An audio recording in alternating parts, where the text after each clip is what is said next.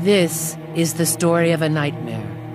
A demon that strikes healthy teenagers and young adults, that robs them of past, present, future, even life itself. You know, schizophrenia is about the most complicated and fascinating disease that people have because it has, it's so complex. It has so many different kinds of symptoms. I heard little voices like angels. I thought I could fly. Feels like my head's exploding. Feels like my head's going into spontaneous combustion, man. Schizophrenia is not split personality. Schizophrenia is not a creative adaptation that an individual makes to an insane world. I'd walk down the street crying.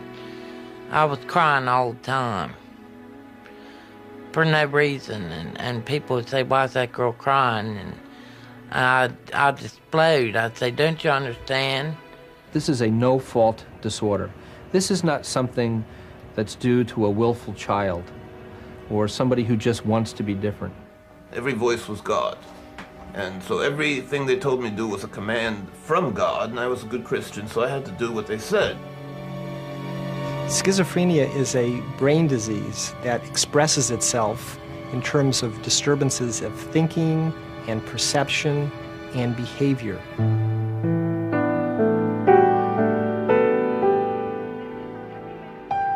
Paranoia, hallucinations, emotional withdrawal. For victims of schizophrenia, everyday life is a strange and terrifying journey. Schizophrenia shatters people's ability to feel or communicate, to understand or interact with the everyday world. The symptoms represent what we know best about the disease. What we don't know is exactly why it strikes, who will be the next victim, or how to stop it. This film is a journey into the lives of people who suffer from schizophrenia and the scientists who are trying to understand it. Nobody knows. it's, it's a mystery why this happens. Uh, it seems to be part of the human condition uh, in that it is a uniquely human disorder, as far as we know, and about 1% of the population worldwide uh, has the disease. 1% of the world population. One out of every 100 children, regardless of race, sex, economic class, or culture, will fall victim to the disease of the fragmented mind. Among its victims, we find prodigies and prophets, great artists, and mass murderers. But mostly, we find ordinary people like ourselves, our brothers and sisters, sons and daughters. This is part of the human condition in that something that uh, some people are going to have. Schizophrenia strikes young men and women, most often between the ages of 15 and 30, and sends them into a state of endless mental agony. I think of it as a, an extremely tragic disease because it pulls the rug out from people, psychologically speaking, right when they're entering the time of their life. In schizophrenia, it's totally silent for up to two decades during infancy, childhood, and early adolescence. You have people who are valedictorians and the best athletes in school, the most popular individuals, and boom, they develop schizophrenia and everything changes. Oh. Do you think you've had a difficult life? Oh yeah, I've had a lot of suffering. Oh, I've had a lot of suffering. Yeah. Do you think your life has been harder than like other people? Much harder than most people I know. How can you ask that question when I've had 71 psychiatric institutionalizations? Steve was the eldest son of a family from Scarsdale, New York. As a child, his brain was a gift of the gods. It carried him through the best schools in the country. As an adult, it turned against him, drove him into mental institutions not 71, but 76 times. Steve blamed his problems on his mother, who was overprotective. His mother blamed it on his father, who was oversensitive. His father blamed it on Steve's friends, who gave him LSD. The doctors said that Steve had schizophrenia. Steve's mother told the doctors they had schizophrenia. No one in Steve's family knew what schizophrenia was. Steve, can you describe the transition when you started, you know, feeling psychotic?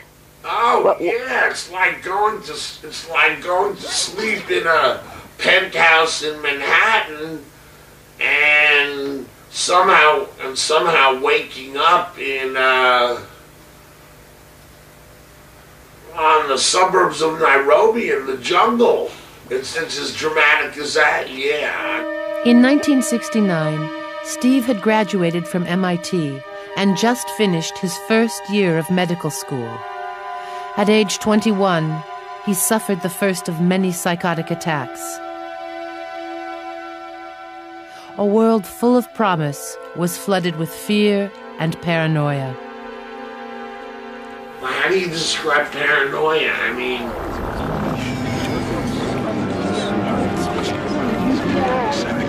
paranoia becomes just so incredibly intense that the feeling that everybody in the room knows what you're thinking.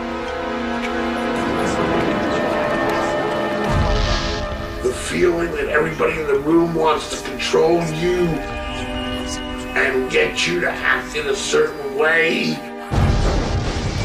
either socially, emotionally, psychologically, spiritually, or sexually. They're all trying to force you to do certain things and act and think in a certain way.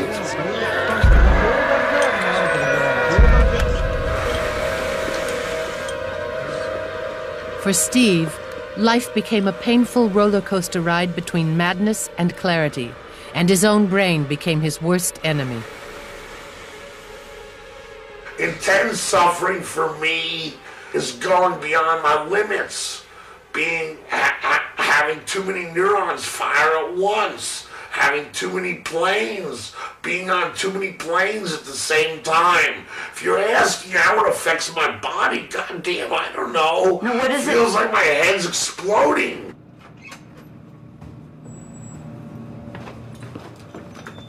Inside this box is the most sophisticated computer known to man. It can analyze complex situations and process multiple sensory inputs simultaneously. Inside this box is a human brain. At the Harvard Brain Tissue Resource Center in Massachusetts, Dr. Stephen Vincent and his staff search for clues to the causes of insanity by studying the difference between healthy and diseased brains. Every time we have a brain here that we're processing, uh, my staff and myself are constantly in awe of the miracle of what it is and the power of what it is and the ultimate mystery of what the human mind is and, and how the human brain functions. A convoluted mass of fatty tissue, blood vessels, and fluid weighing under two pounds on average, the human brain has been the subject of clinical research for generations. This brain was alive only four hours earlier. Scientists have found visible differences in the size and shape of certain regions of the brains of some people with schizophrenia, but the findings are not consistent. And when viewed under the microscope, it is virtually impossible to distinguish the brain tissue of a person with schizophrenia from that of a normal individual. So, what is it that makes a schizophrenic brain different from a normal brain? Science uh, is now showing us that the differences are at the level of brain wiring and brain chemistry. Most brain activity involves communication between cells called neurons. Messages are sent by chemicals called neurotransmitters, such as dopamine and serotonin. In people with schizophrenia, these chemicals are often found in abnormal levels. But this imbalance in brain chemistry is only one reason for the communications breakdowns of schizophrenia. Increasingly, neurologists attribute some of these problems to irregularities in the structural organization of brain cells, patterns first established during fetal brain development. During the second trimester of pregnancy, neurons actually migrate to build specific pathways in the brain. Any errors at this stage have lasting repercussions. The brains of these individuals with schizophrenia are wired somewhat differently. That is, the neurons are interconnected perhaps in different patterns than those of brains of individuals who are normal. Only recently has modern technology given researchers the necessary tools to begin to understand the physical functions of the brain. Magnetic resonance imaging, or MRI, is used to create detailed images of the living brain at work processing information. Dr. Nancy Andreasen from the University of Iowa was a pioneer in this field. The most compelling evidence for what is wrong with the brain and schizophrenia comes from functional imaging studies, where we can base the circuits in the brain. Circuits are areas that are interconnected with one another uh, and that have to communicate with one another. You can think about it as, you know, programs on a computer making calls here and there for pieces of information or whatever. And in, in schizophrenia, those circuits aren't working right, and they're calling up connections and they're misconnecting. And because they're misconnecting, sometimes people get the wrong information and hear voices when they shouldn't, or they misinterpret things that they see. Scientists believe the problems are in part genetic. Human brain wiring begins at conception. Sensitive ultrasound imaging now allows researchers to monitor development of the fetal brain inside the womb in those early stages where neurons are being generated and they're migrating to their final positions and sending out branches to connect to other brain cells, it is thought that there may be some differences in the way that's happening with individuals who eventually are diagnosed with schizophrenia in their young adult time. By tracking subjects from the womb right on through onset of the disease, researchers hope to pinpoint when and how the structural damage of schizophrenia strikes the brain. We know how parts of it work. We know a lot about neurochemistry and receptors and development of the brain. But piecing that all together as a functioning whole unit of a human being with emotions and memory and uh, personality, uh, that we don't understand.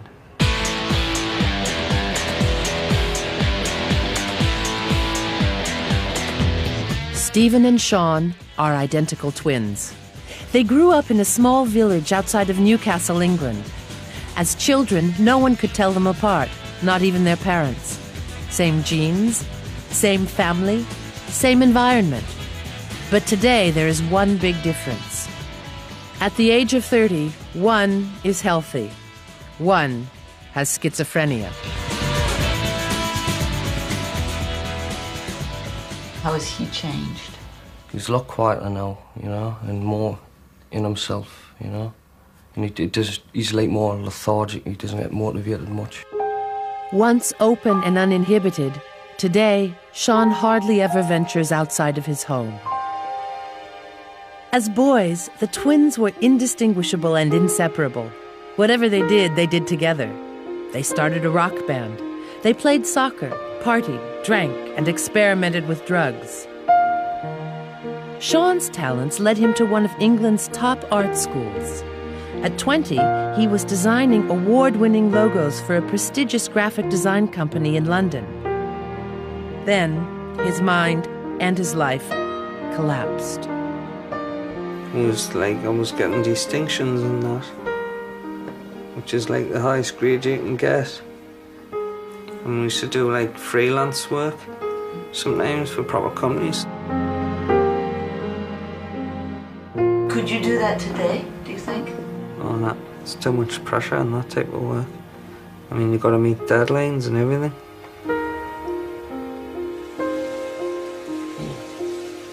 Today, at the age of 30, the twins are still inseparable.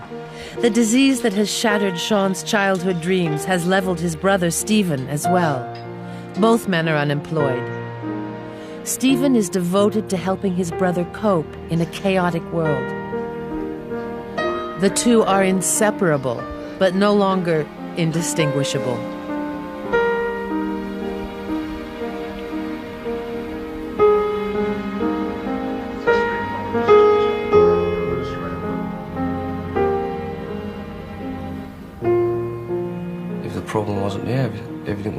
Would be a, a lot better, you know. I mean, I think it must be a lot worse for Sean, you know, because he's got the problem, you know. Two things keep Sean in touch with the world his brother and antipsychotic drugs.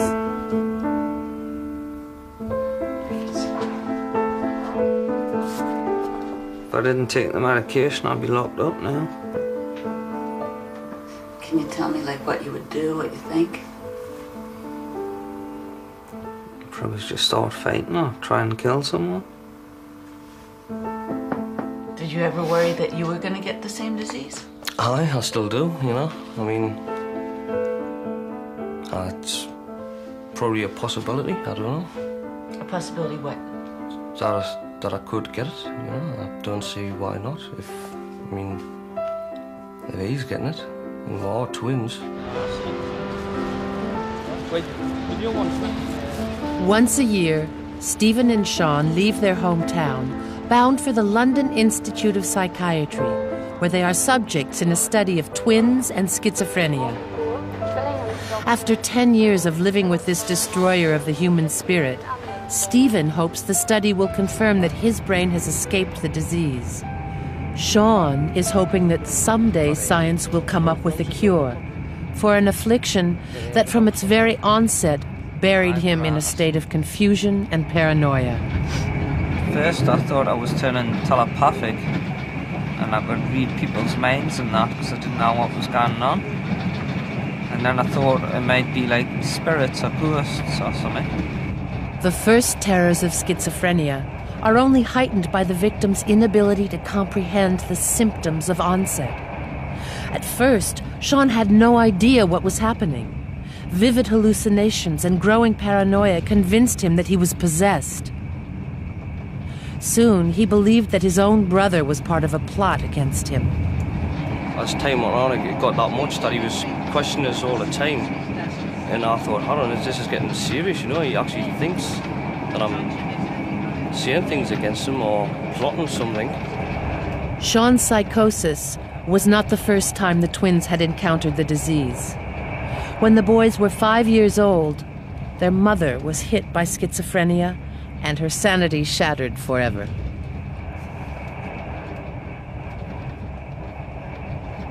Watching his brother fall victim was devastating for Stephen.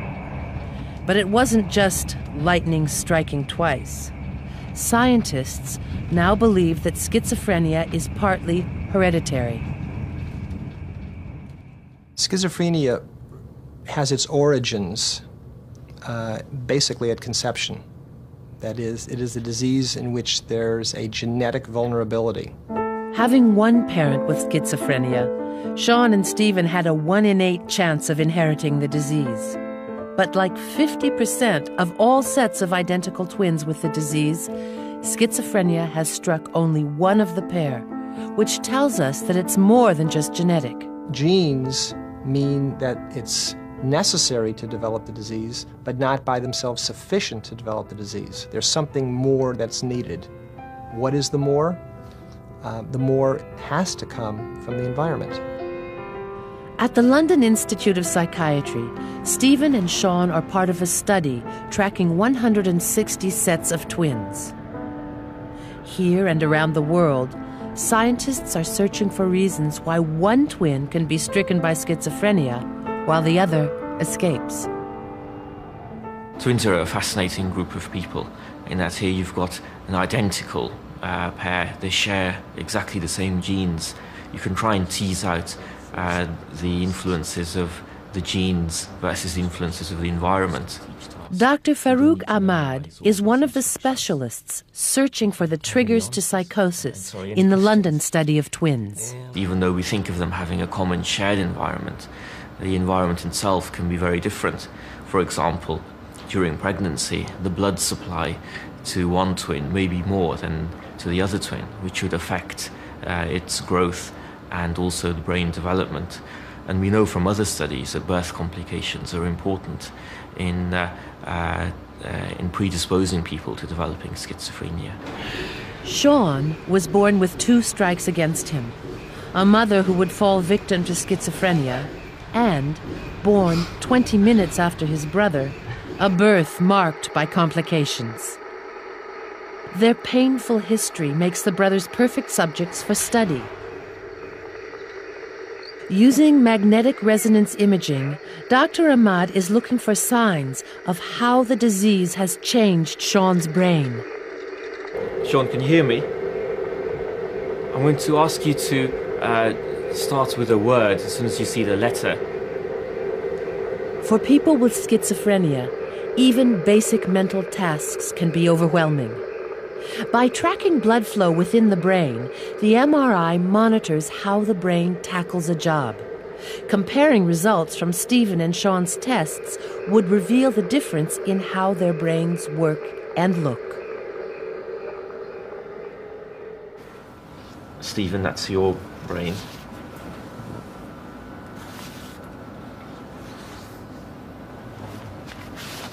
So I've got one.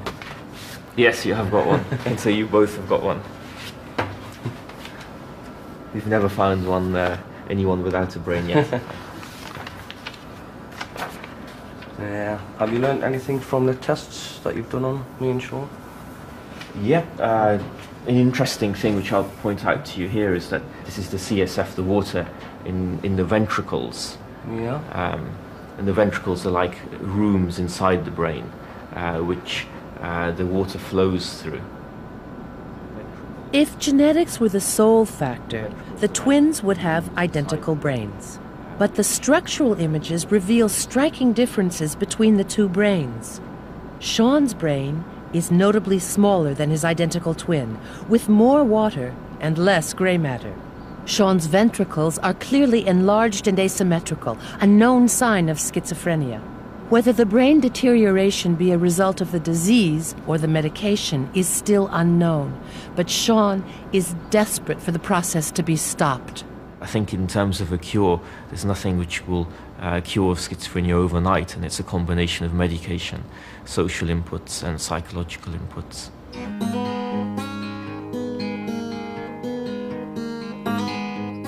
His brother, his family, and medication enable Sean to exist on the fringes of society.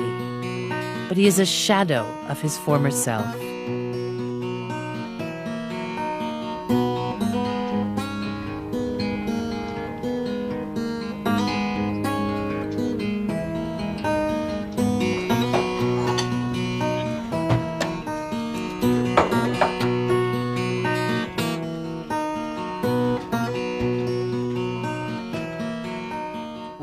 About when you look at these pictures?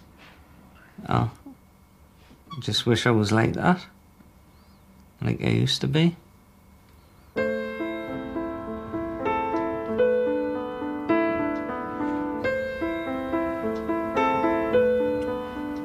you think it's unfair somewhere?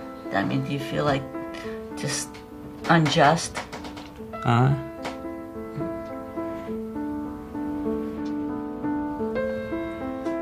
For Sean, every day is a struggle with fear, the nightmare that keeps him locked inside a lonely and frightening world.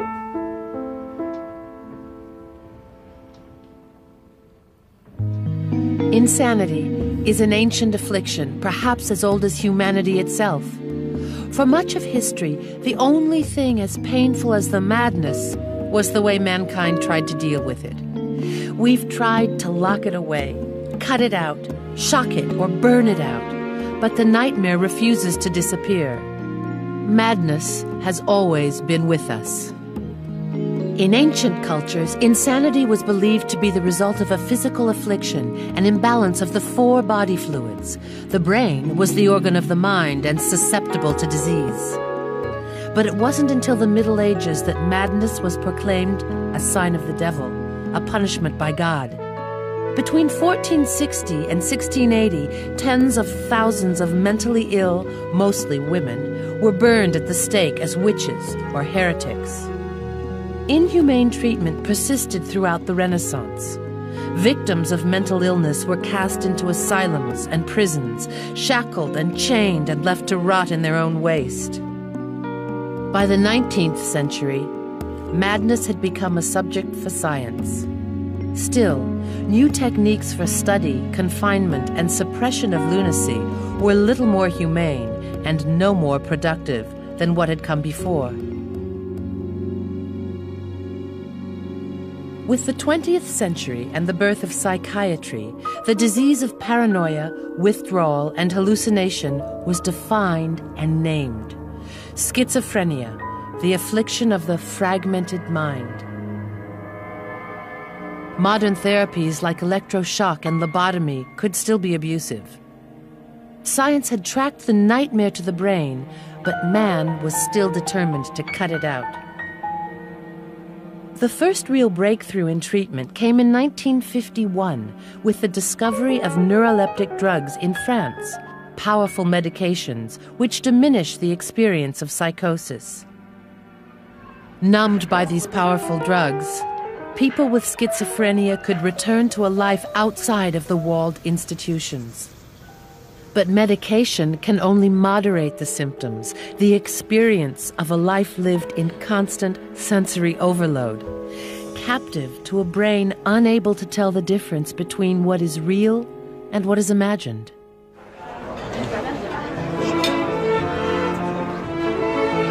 Imagine a world where a busy restaurant feels like the front lines of a battlefield. where every sound, every voice, every note of music were all firing at you at the same volume.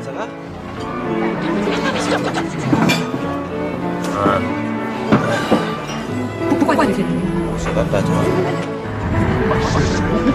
Ça va pas Qu'est-ce que tu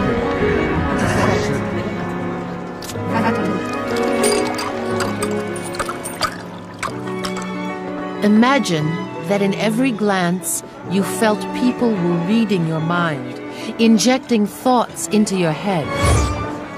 That all of those imagined voices inside of your head are screaming at once in a language you don't understand. Excusez-moi, monsieur, vous désirez un apéritif Imagine living trapped in a world with no boundaries between self and other no border between your own thoughts and the thoughts of others.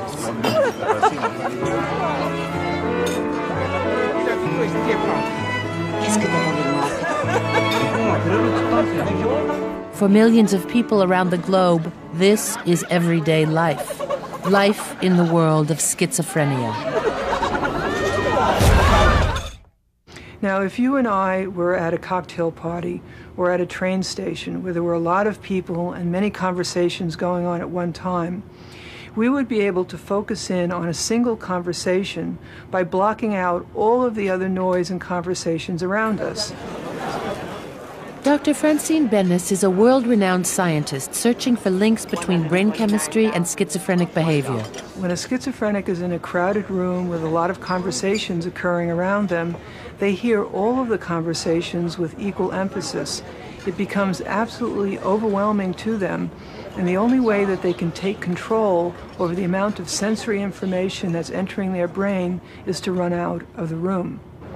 Victims of schizophrenia live in fear the inability to filter external experience from internal thought contributes to hallucinations, voices and visions that can make even familiar situations terrifying.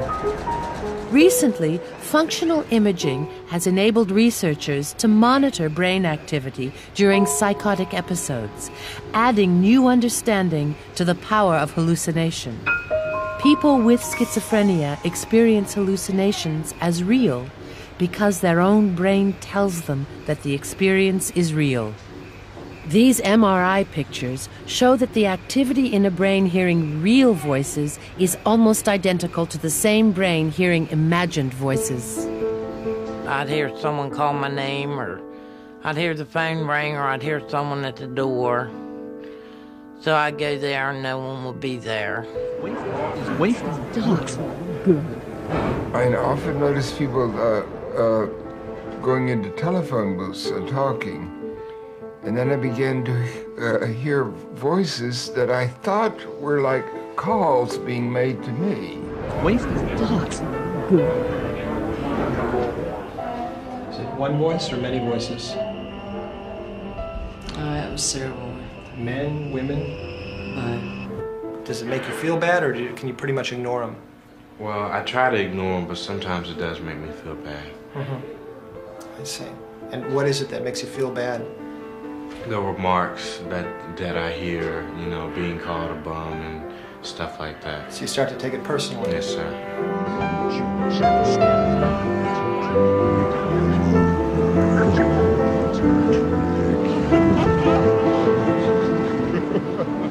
I hear, uh, sometimes I hear voices, I hear names that are talking to me, but the voices don't have names. I don't hear the voices. I don't know what the, I don't know I don't know what the voices mean.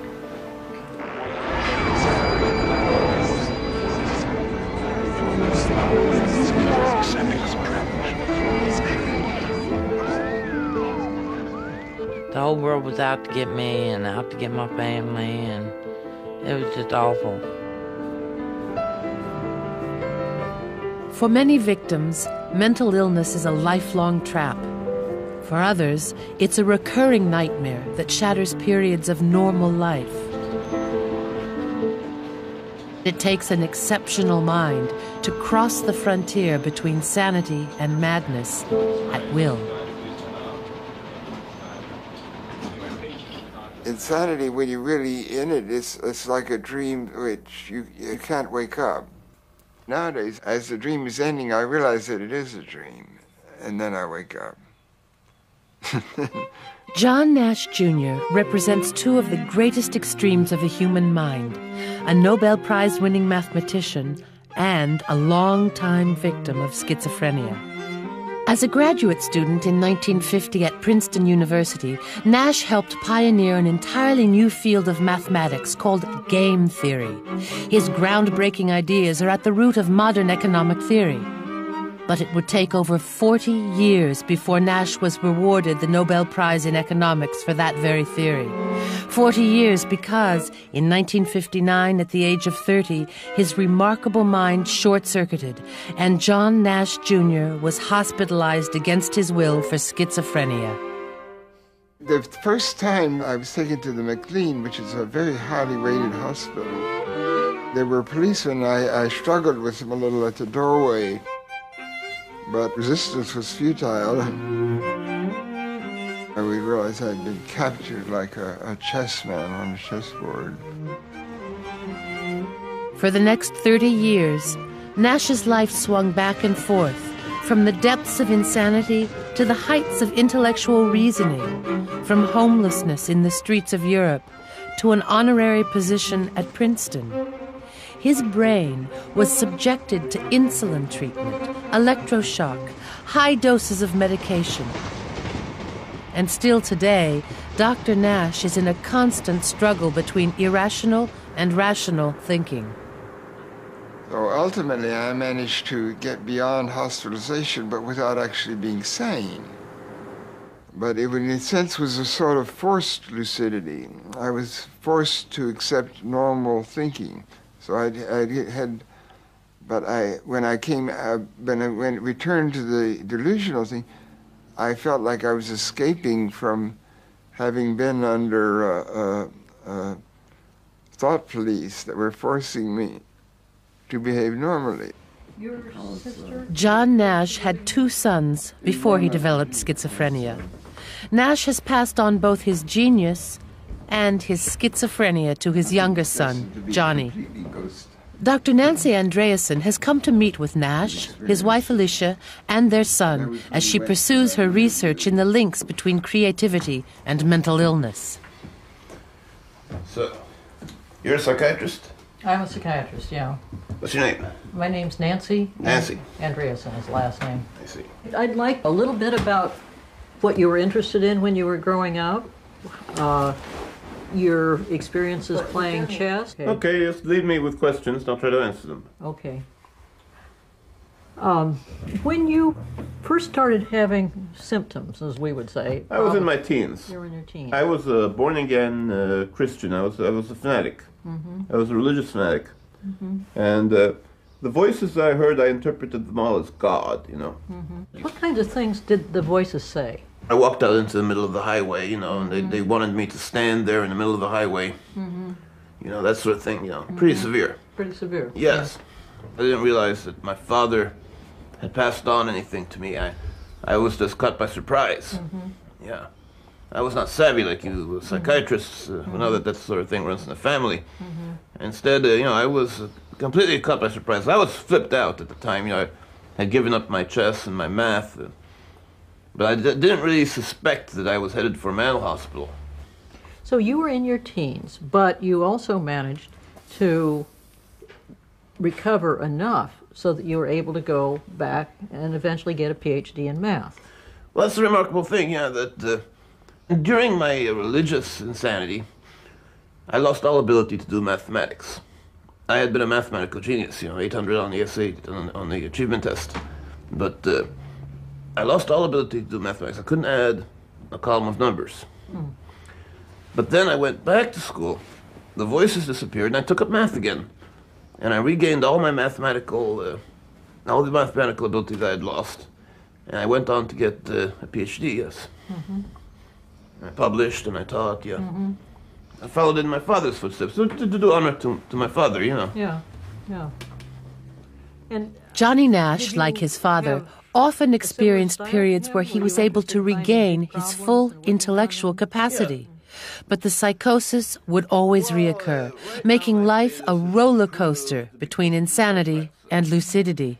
But I'm still uh, suffering, you know, uh, the symptoms of mental illness. Uh, you know, I, I, I hallucinate, I still hallucinate, you know, but I can function. I function despite the mental illness, functioning schizophrenia. Uh, when you mention hallucinations, what do you mean explicitly? You mean a voice, or what do you mean? Both uh, auditory and visual. You see something? Yes. What Didn't you see? know that I, that I have visual hallucinations? Well, you claimed it once in the hospital. I remember one time. What's that? You're not keeping up with me at all if you don't know that I have visual You don't hallucinations. Uh, I, well, what, what is it? What is happening? I have visual hallucinations, Dad. What do you see? I see things in the air that aren't there, you know. How do you know? I mean, like ghostly figures or what? Like, yeah, sha- like, like ghosts, yeah. shadows? You see shadows? I see, you know, in the air. So it must be shadows, right? What, what do you see in the air? You could call them shadows. And he hasn't even kept up with me. Well, you don't. You haven't. You haven't said that Well, you it's see real something. hard. We don't. We don't see it. You have to tell us that you Yeah. see. It's uh, you know your parents are not your doctors, and so it's and they don't want to intrude on your life. I Ah, that's too bad. Well, it's been a pleasure. been very nice talking to you. Thanks very much.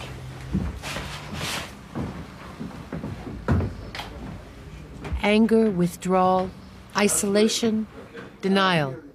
The symptoms of the disease and the reaction to them make treatment only more difficult. It's rare that an individual who develops symptoms gets diagnosed quickly, comes to treatment, and then is optimally treated for the remainder of their lives. More often, people are ignorant of what is happening to them, they really don't know. Or if they do have a sense, they don't want to say anything about it because it's a highly prejudicial and stigmatized thing to say, you know, I've, I've got some, some mental disorder. Denial is often the first reaction to the onset of schizophrenia, but it is far from the worst. Patrick's son, Gainel, was a healthy teenager of 15 when he quit high school. He told his father he quit because he thought he smelled bad. Patrick didn't think much of it until the following summer. He left school in April, and the next summer, uh, one day I had him on the telephone, and he was in total delirium. He was, was saying you? incredible things.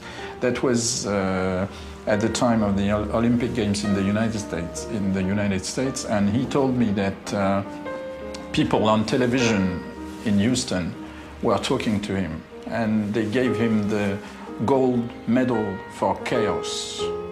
And he told me that on the telephone. And that's when I realized that something real bad had happened.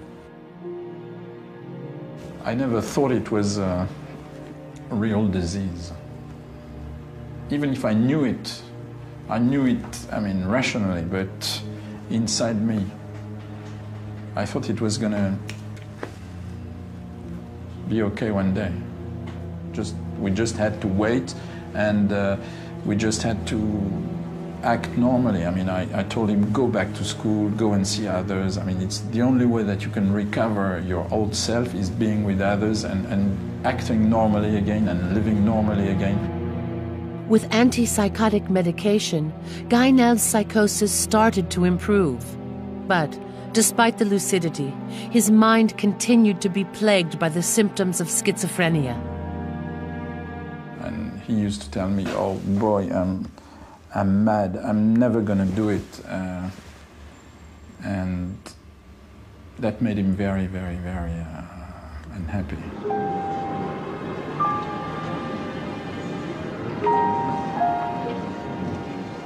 That brought us to that day when I think he felt so bad and he was kind of depressed that um, he suddenly decided that uh, he couldn't do it anymore. So he just said he was gonna was going out to the cafe to have a cup of coffee and uh, he went straight into the subway and uh, under the train. And that was it.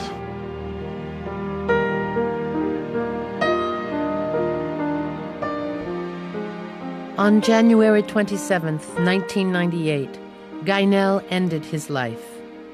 He was 19 years old. 50% of the young people suffering from schizophrenia will attempt suicide. 10% of them will succeed. The sad part is, is that the longer a person remains actively symptomatic, the more time the disease has to progress, damage begins to accumulate in the brain, and the less responsive they are to treatment, and the poorer their prognosis becomes. There are some folks who are thinking about prevention, and their thesis is that if we start treating these young people with medication before the onset of the disease, that you have a high likelihood of preventing the, the, the downward effects of the disease in the brain before it actually manifests itself. So this actually this is very controversial. You're medicating somebody for something that they don't have yet and perhaps never will have. There is no cure for schizophrenia, but medication does help to attenuate the symptoms. And the earlier the patient is treated with medication, in general, the better the outcome. At the University of North Carolina, under the direction of Dr. Jeff Lieberman, scientists are working to identify and treat patients at the earliest signs of psychosis. Dr. Diana Perkins studies the brains of first episode patients, young people dealing with the symptoms for the first time. By closely monitoring their brain structures as the disease progresses, Dr. Perkins hopes to determine whether schizophrenic brain anomalies stem from birth or develop over time. We're, we're very interested in the earliest stages of the illness for, for many reasons. One, it will give us more information about what may cause schizophrenia. And we also hope that by intervening early, we can, may even be able to prevent the onset of, of psychosis, the onset of the illness. I was having some suicidal thoughts, and I, what brought me into the hospital originally um, this last time was I was trying, I thought I could fly. Teresa is one of the first episode patients who has come to Dr. Perkins looking for answers. There was a meteor shower, and, and when the stars fall from the sky, I always thought that, that meant a soul was going up to God or something. And so I started believing that maybe my soul was going to be going up to God. Teresa already knows schizophrenia all too well. Her mother was a victim. You know, I was afraid I was to get schizophrenia. That's actually I, one of my biggest fears was kind of developing that into that. And so I tried everything to not look at that, but in the process of me not looking at it, I guess it was progressing. It didn't go away, it, and I kept having symptoms. Although half of the patients who suffer basic symptoms will never experience them again, the other half may be on the road to full blown psychosis. What we're hypothesizing is that the people that continue to develop symptoms or they continue to worsen um, may have some changes in these brain structures. So with Teresa, what we're what we're going to look at is whether or not there, there are these changes and does the brain change over time. Okay, so how does my brain look? Yeah, it looks good, Teresa. these are um, these are pictures of your brain that are taken this way through your through your head. We call them axial slices. This MRI looks very normal. There are no obvious abnormalities. The ventricular sizes are what you would expect in a normal, normal, um, um, healthy person's brain. I, I've never looked at my brain before, so I'm just trying to figure out maybe where my intuition is, or where when I dream, or all those things. For the moment, Teresa's preventive treatment seems effective. As long as she continues with medication, the symptoms may not recur. But will Teresa remain committed to a lifetime course of powerful antipsychotic medications based on a single schizophrenic episode? My hope is to help um, help Teresa control the symptoms. When she's all better, prevent relapses in the future. But we don't know how long people should stay on medication, um, and it's tough to commit to lifelong medication with just um, one one episode. That's the kind of thing that Teresa and I will be talking about um, over over time. How I see my future today. Um, well, that's kind of a hard question for me to answer because I'm just taking this a day at a time, literally. One day at a time, on the razor edge of paranoia and hallucination, day after day, until the day medical science breaks down the walls of madness. I think we're getting better and better at treating schizophrenia, and now the majority of patients with schizophrenia uh, live in the community and uh, often are very well um, and may require only short admissions into hospital. Considering from where we've come in terms of our knowledge of schizophrenia, we know a great deal now, um, but we're on the verge of knowing an enormous amount more that will make a huge difference in our ability to diagnose and treat this disorder. And I really believe that we have the opportunity within our, almost within our grasp, to prevent or develop a cure for schizophrenia. Uh, I'm hopeful that there'll be a uh, more effective treatments will come to pass. The more we learn uh, from basic science research, the more uh, ammunition is available to design new medications that will be more effective with fewer side effects. Uh, and it's quite possible that in the future there may be a cure. Modern advances in medication have freed the victims of schizophrenia from the shackles of institutional life, but they remain the prisoners of their own minds. For Sean, support from his twin brother gives him strength to live. He continues to draw whenever he finds the peace of mind. Teresa is working as a mother's aide while pursuing her artwork. Dr. John Nash is developing new mathematical theories at Princeton. And his son Johnny is living at home and struggling with his persistent hallucinations. Steve Weiner died on March 28, 1998, at the age of 49, of complications stemming from his constant bouts with mental illness.